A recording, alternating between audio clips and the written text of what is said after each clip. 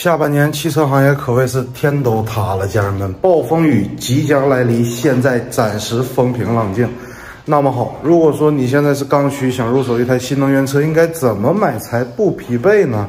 兄弟们，现在如果说我现在非得让我去买一台新能源车，兄弟们，我就十到二十万。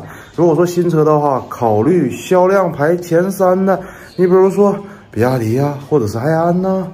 嗯，销量比较好的，而且记住了啊，销量得稳定，从去年到现在一直好，而不是突然异军突起的这两个月好上了，那不叫好。那从头到尾销量不错，稳步增长，或者是非常平均销量，那才叫稳。买这样的它不会疲惫，因为什么？因为你比如说现在你买新能源车，你。买个新势力，万一说你变成了曾经的横什么车主，对吧？或者是为什么车主，那你不天都塌了吗？家人们，现在很多新能源车企亮红牌的、亮黄牌的，或者已经倒闭的、已经坚持不下去的、销量上不去。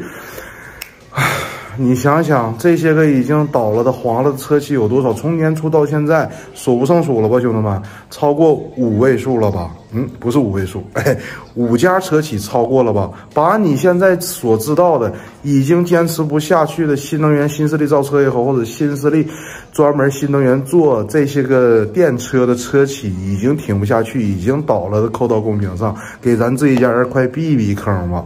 然后你如果说超过二十万，会出现一个什么问题呢？我感觉到会疲惫。过了二十万，你再买新能源车，下半年你各地都有政府补贴，还有新能源车现在陆续也在降价，燃油车也挺不住了。你就想吧，燃油车现在多疲惫呀！下半年价格战还得是打得水深火热。如果说不打价格战的情况下，你想过没有？它可能是加量不加价。何为加量不加价？就是你可能你现在花个二十多万、三十多万，你买了一台新能源车，它可能续航六百公里。下半年没准给你来个同样价格，给你来个八百公里续航的，这也不是不可能，对吧？毕竟很多车企它其实现在卖车它不赚钱，所以只能。那以换种方式营销，去做自己的车型，去抢占订单量。你想想，特斯拉还没放大招呢。如果说特斯拉九月份新款的 Model 3排产，它之前再给你做一个老款特斯拉价格往下放，新车降到二十万以下，老款的特斯拉 Model 3跟很多主流同价位的。自主品牌的新能源车价格差不多的话，你想想，大部分人我想还是会选择特斯拉吧，对吧，兄弟们？毕竟，嗯，这个也不方便多说。